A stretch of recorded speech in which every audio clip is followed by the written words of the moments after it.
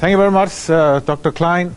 I will try to talk this afternoon about the standardized total tract digestibility of phosphorus by pigs, and it is kind of a new concept, so I'll try and go through it, uh, how, we, how we calculate it. I do want to point, point out, however, if you don't get it all today, this presentation will be on our website in a couple of days, and you can go to our website and you can listen to it one more time if you have, should have that interest. Now, what I'll try to do here is first talk about how we determine digestibility of phosphorus in feed ingredients. And I'll talk about uh, different uh, uh, ways to, to do that, and I'll come up with uh, a solution for it and try to tell you that the best way to do it is to do total tract digestibility of phosphorus. Okay? Then I'll talk about the different expressions for phosphorus digestibility, apparent total tract digestibility, true total tract digestibility, and standardized total tract digestibility. And I will show you data indicating that the best way for practical feed formulation is to use standardized total tract digestibility. I'll also talk about basal and, and, and total endogenous losses of, of, uh, of, phosphorus, which is one of the reasons we, we, we, we, calculate standardized total tract digestibility, and I'll show you why we, uh, we, we can calculate the standardized total tract digestibility. I'll talk about, a little bit about the fermentation of feed ingredients, and in particular, when we go to all these new feed ingredients, some of them have been fermented. What does that mean for our digestibility? And I will show you that the more we have fermented a feed ingredient of uh, vegetable origin, the greater is the digestibility of phosphorus in those ingredients. and then finally, I will also talk a little bit about how do we formulate diets based on values for the standardized total tract digestibility of phosphorus. And I'll show you an example from experiments we have conducted, and I'll talk a little bit about the matrix values for phytase and how you need to handle that because that's not the same when we move from just a straight corn soy diet. We can do it in one way, Then when we go to alternative ingredients with different uh, substrate inclusion, we have to handle phytase in a different way in our formulations. I'll show a little bit about that also.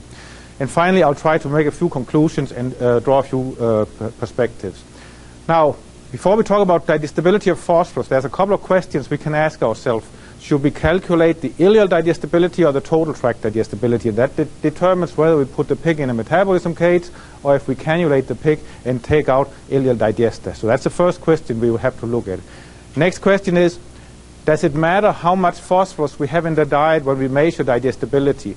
In other words, do we need to be below the requirement, at the requirement, or above the requirement when we, when we calculate these? So that's the next question we need to answer.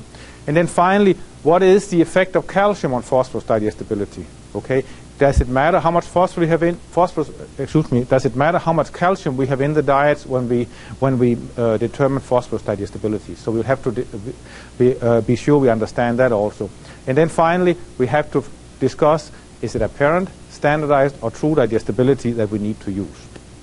Okay. First, apparent ileal digestibility versus apparent total tract digestibility. Here are data from an experiment one of my former students, Bob Bohlke, he uh, conducted, and we published that in 2005. We had three feed ingredients here. We had, at that time, low phytate corn. I don't have that anymore, but for this purpose, it's fine. And then we had also, uh, we had yellow dent corn, and we had soybean meal. And you can see we have the apparent ileal digestibility values here. We have the apparent total tract digestibility values here. You see there's some difference between the three.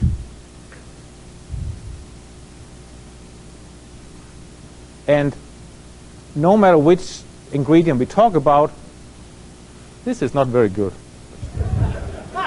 Thank you. Okay. So, no matter which ingredient we look at here, there's no difference between ileal digestibility and total tract digestibility. That means we can use either one of them. However, it is easier to determine total tract digestibility than ileal digestibility, and we don't rely on a marker. Therefore, we use total tract digestibility for phosphorus, di uh, for phosphorus uh, digestibilities. Still, it's not very good, Chip. Okay, did another experiment here. We had three diets control diet, corn soybean meal diet, no phytase. Then we had ye yellow bars, the 500 uh, uh, phytase, the 500 units of phytase here, and the red bars, 1,000 units of phytase. The phytase in this experiment was Optiphos. And we determined here duodenal digestibility, ileal digestibility, total tract digestibility. You'll see there's no difference between the, among the three diets here at the duodenal digestibility, meaning that about 10% of the phosphorus disappears prior to where we put our cannula in, which was approximately 10 centimeter after the uh, pancreatic duct in the duodenum, so very little absorption there. However, when we go to the end of the ileum, lots of absorption, and you'll see there's a nice response to phytase you would expect, but you would also see no difference between the ileal digestibility and total tract digestibility regardless of the diet we're talking about here. So again, total tract digestibility works just fine. Next question, apparent standardized or true digestibility. I mean, we put the pigs in the, in, in the metabolism cages here. If we just do uh, apparent total tract digestibility, all we have to do is know the input and subtract the output, and we can calculate that uh, apparent total tract digestibility. Very easy we have, if we need to do true total tract digestibility, we need to have the intake of phosphorus, then we need to have the output, and then we need to determine the total and uh, endogenous loss of phosphorus also, subtract that from the output, then we get the true digestibility. Okay? And finally, if we want to have the standardized total tract digestibility, we need to have the intake, subtract, and have take the output again, and subtract not the total endogenous loss, but the basal endogenous loss. And the basal endogenous loss is the loss of phosphorus that is lost in response to any dry matter in the intestinal tract of that pig. Not, not specific for the diet, just because of dry matter. So there are two types of endogenous losses, basal endogenous loss and specific endogenous loss. And the basal is just in response to the dry matter. The specific endogenous loss is endogenous loss that is lost in response to a specific feed ingredient. And in particular, if you have high fiber ingredients, they will induce a greater loss, and therefore you get a, a greater total loss. So that's the difference between total and uh, basal losses here. Now, if you just look at apparent to total tract digestibility, we have some uh, uh, challenges here with those because here's an experiment conducted by Dr. Fan from University of Guelph about 10 years ago. He had four different levels of soybean meal in the diet 13.3, 27.3, 40.80, and 54.6. And then he determined the apparent total tract digestibility, and you can see what happened here. He had less than 20% digestibility and if he had 13% soybean meal in the diet. If he added twice as much, then he got up to 35% digestibility, about the same but 40% and above 40% digestibility when he was at 54% uh, inclusion rate. So now we have a problem here because we have one feed ingredient but we have four different digestibility values. So which one should you use when you formulate your diet? It's not very easy to determine, right? So based on that, we conclude that the apparent total tract digestibilities are not very practical to use in practical diet formulations because we don't know which value to use. Okay, so we need to go to either true digestibility or to um, sta standardized digestibility to do both of them to do true digestibility, we need to determine total endogenous loss. And that has been determined in six different experiments here in the US over the last 10 years. And you'll see here the values. We have 450, 670, 310. These are in milligram per kilogram dry matter intake. 70, 35, and down to 8 and up to 101 here in this experiment. You see there's tremendous variability. It's not possible based on these values to say what is the total endogenous loss of phosphorus. These are very, very variable, these, uh, these values, so it's not easy to calculate true digestibility. Okay? Going to basal endogenous loss, instead I've listed 10 experiments. We have actually have more than, than this, but you'll see there's much less variability here, and you'll see the average here is right around 200 milligram per kilogram dry matter intake. Not a lot of variability in these data. We have done it many, many times, so we can be pretty confident in this value here. So that means we can calculate standardized digestibility values by uh, correcting for the basal endogenous losses. And if we correct these apparent to total tract digestibility values for basal endogenous losses, then we get our values for standardized total tract digestibility. Okay? So it is possible to do it. Here's an example what it means.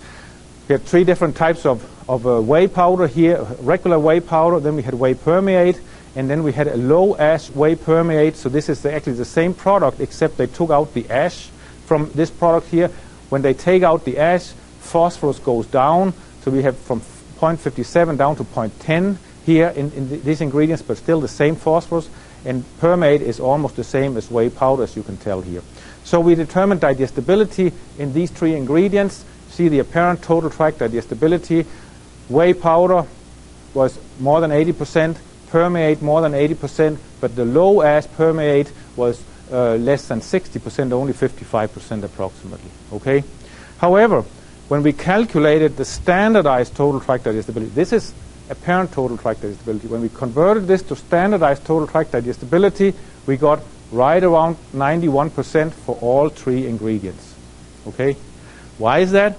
That is because we had the low level of phosphorus in this diet here with the low ash permeate, right?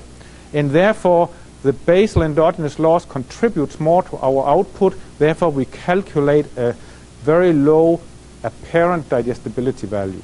But when we calculate the standardized value, we don't make that mistakes be, be, mistake because we have corrected for those basal endogenous losses. So the standardized values are very, very uniform across these three diets, right? And this is why we should use standardized digestibility values, because we can get very uniform uh, uh, values. I showed you before the Dr. Fan's data on apparent total tract digestibility in soybean meal, the four different levels here, the orange bars here, they were, were inconsistent across these four diets. However, if we convert these values to standardized digestibility values using those 200 milligram per kilogram dry matter intake to, to correct them for, you'll see again the standardized digestibility values are much less variable than the apparent digestibility values, right? So standardized digestibility values can be used in diet formulations because we can predict what the, what the values are. So to conclude on this part, we have seen that values for basal endogenous losses, they are less variable than values for total endogenous losses. We've seen that we can calculate values for uh, standardized total tract digestibility values by using those basal endogenous losses, and we have seen that the values we get for the standardized total tract digestibility, they are not dependent on the level of phosphorus we have in the diet, and that's what we need to, to do because that means that those values can be additive in a mixed diet. And that's what we want because when we formulate diets, we take digestibility values from each ingredient and we put them into a diet. And if they are not additive in that mixed diet, then we will not be able to predict what is the level of digestible phosphorus in that diet. So that's why we think they are additive in, in, in mixed diets. Okay.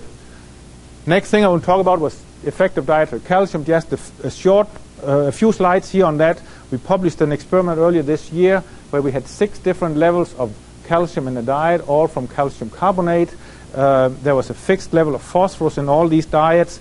We measured the apparent total tract digestibility of calcium, and you'll see there's no significant difference here um, among these diets. There's a little bit of noise here, but there's no significant difference among these diets. No effect of the calcium level in the diet on calcium digestibility. That's pretty good. However, we also looked at phosphorus, and the phosphorus, as I said, was the same level in all diets, all supplied by monosodium phosphate. And you can see here that there's a linear reduction in the digestibility of phosphorus as we increase calcium in the diet. A linear decrease in digestibility of phosphorus as we increase calcium in the diet. That means that the phosphorus digestibility that we measure is, de is dependent on the level of calcium in the diet. So we need to know what is the right level of calcium in the diet. And to know that, we need to know what is the digestibility of calcium in our different feed ingredients. And we don't know that because we have never really looked at that until now.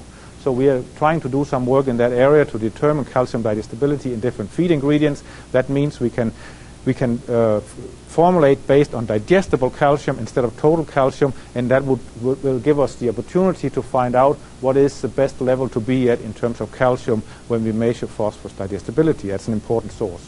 And one more slide here on calcium. I just want to show that calcium homeostasis is not determined by upregulation or downregulation of uptake from the gut and we, we showed that in an experiment here we have two different diets, a, di diet with phosphorus and a diet without any phosphorus at all. Okay?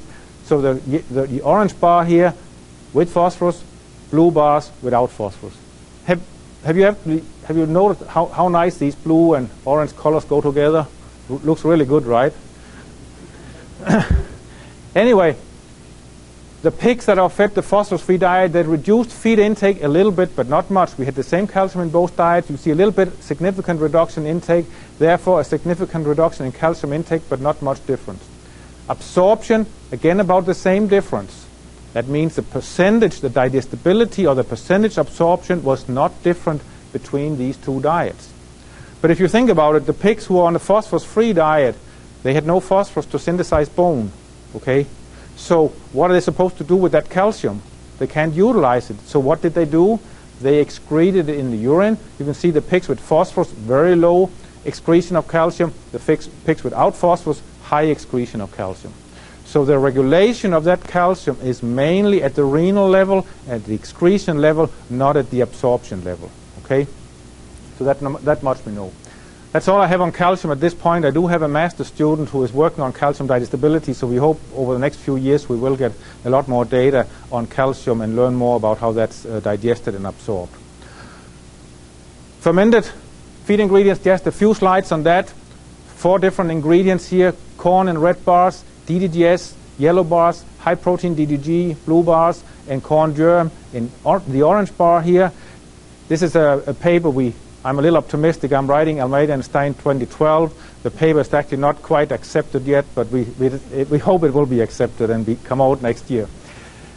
But what we have here, you can see corn and corn germ, non-fermented feed ingredients, DDGS, high protein DDG, fermented feed ingredients. It's corn phosphorus we are talking about for all four ingredients. And clearly a big, big difference here in digestibility clearly much more digestible, uh, more, much greater digestibility if that feed ingredient has been fermented, if not fermented.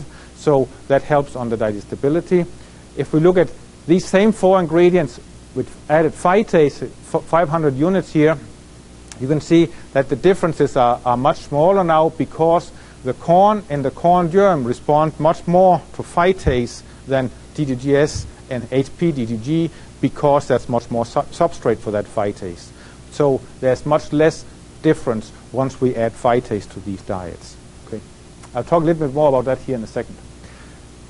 Look at soybean meal. Another one of my current students, he's looked at fermented soybean meal. Again, we have uh, regular soybean meal, fermented soybean meal, orange bars, no phytase, blue bars with phytase, and you can see for soybean, regular soybean meal, a nice response to phytase. However, fermented soybean meal, much greater digestibility without the phytase.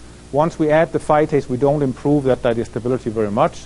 So both of them end up right around 71% digestibility when we add phytase to the diets. So one more time, if we ferment the ingredient, we have much greater digestibility than if we don't ferment them. And I think that will be important as we look at other feed ingredients. We have recently gotten some data for corn gluten feed, and surprisingly, corn gluten feed are actually much closer in digestibility to uh, DDGS than they are to corn.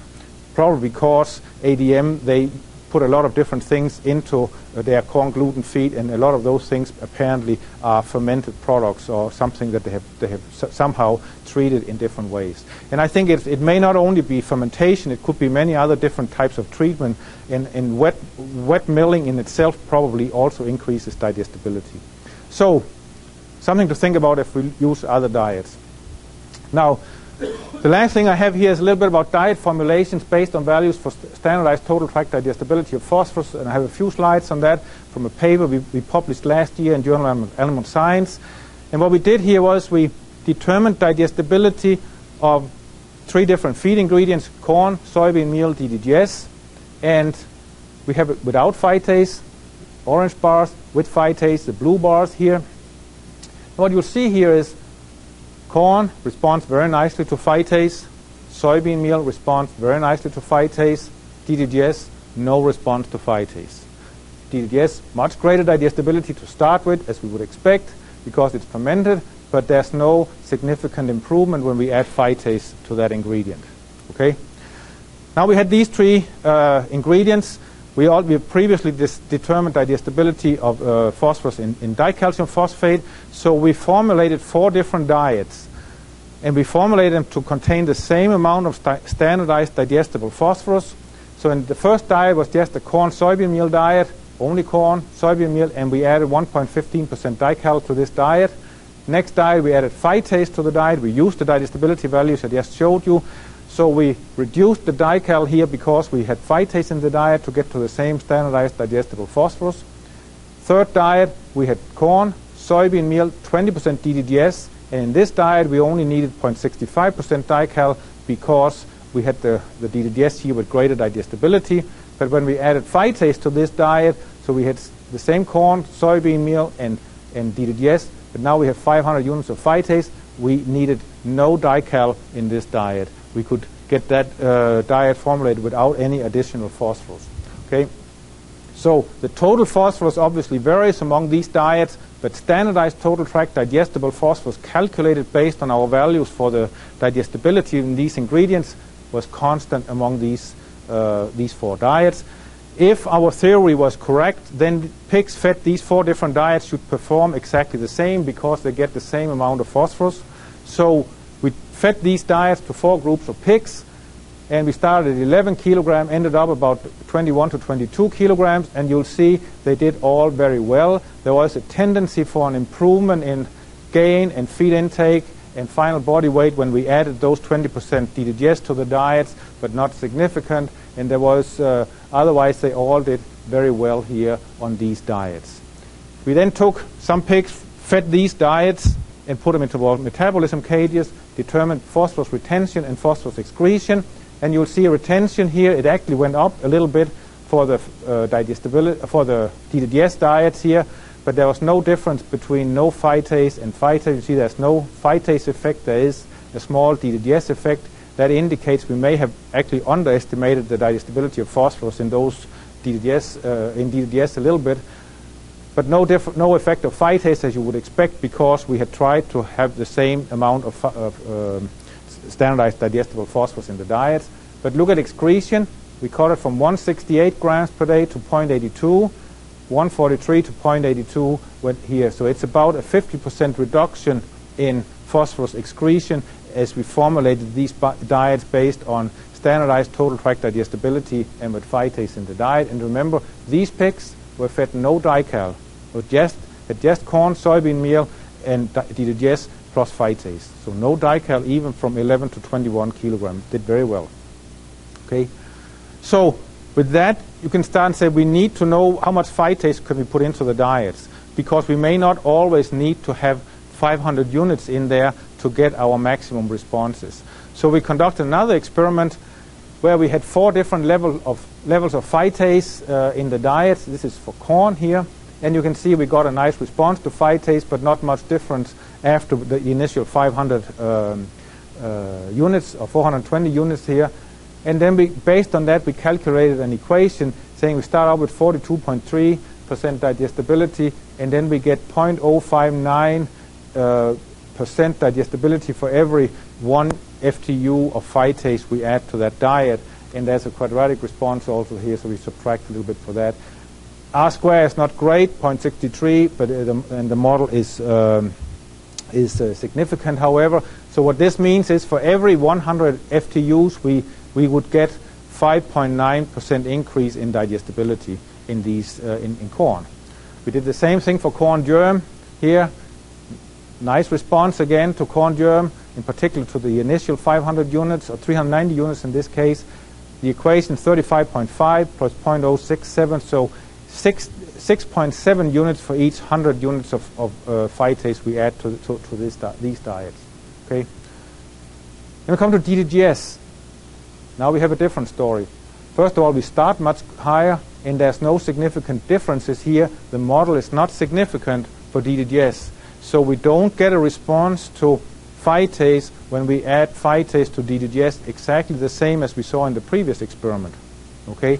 We don't get a response because it's very digestible to begin with, fermented feed ingredient. Okay, and for HPDDGs, uh, we did get a, a, significant model, but the, the response was not very high.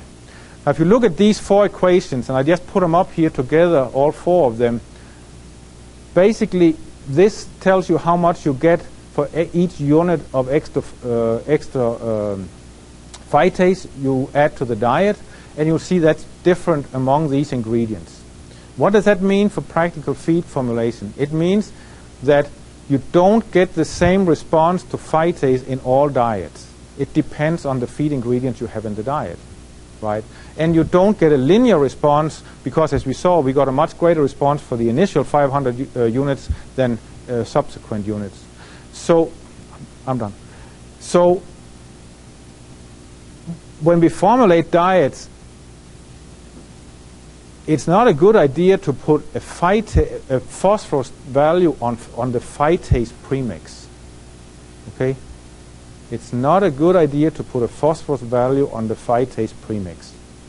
The way to formulate the, these what will happen if you do that is one, you assume the same response regardless of the ingredients in the diet. That's what you assume if you put a, the phosphorus value on your phytase premix. Secondly, you assume a linear response to phytase. Now you can you can uh, limit the damage from that by, by putting a maximum on the phytase in, in, in the formulation. But if you don't do that, you assume a linear response, and you don't get a linear response after 500 units. So the way to formulate diets is actually to put the phytase response on each ingredient. Okay?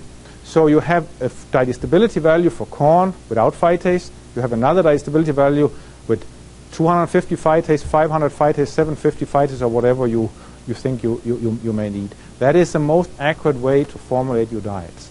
Okay? So, few conclusions, Brian, before I end. Standardized total tract digestibility values are independent of diet phosphorus concentration. I hope I've, I've demonstrated that to you. We got a, the same value across diets when we have different uh, phosphorus in the diets. Standardized digestibility values are additive in mixed diets which is important for practical diet formulations. Standardized uh, total tract digestibility values support peak performance as expected, as I showed in this experiment we conducted, and therefore it contributes to a reduction in the phosphorus excretion from the pigs, so you will get less phosphorus in the manure.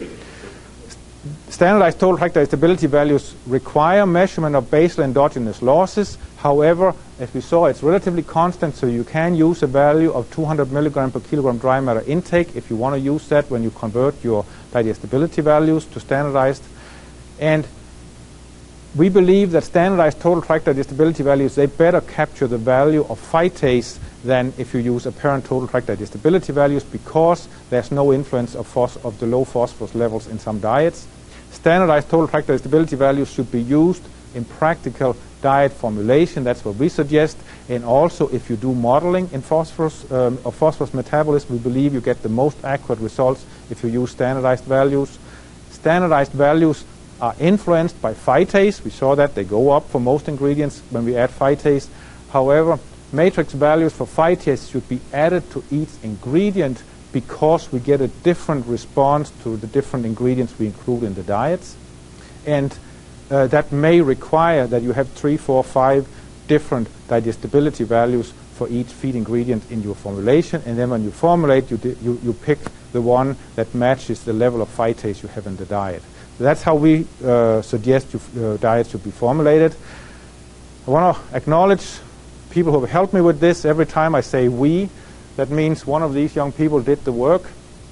And uh, they say, Dr. Krummel said this morning, good students make professors look smart, and these are the students who, uh, who have done all the work here. So I want to acknowledge that some of them are in the audience here today.